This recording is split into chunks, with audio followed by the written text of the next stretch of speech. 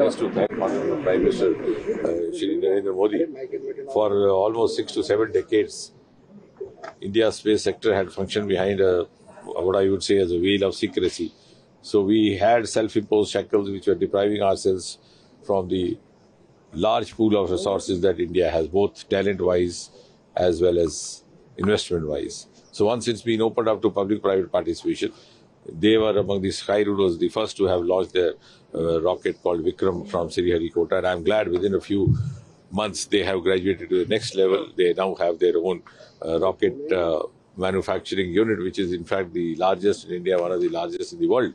So this is what that means. There, there was a huge amount of talent, huge amount of acumen, huge amount of potential, huge amount of space capability waiting to happen in our young minds.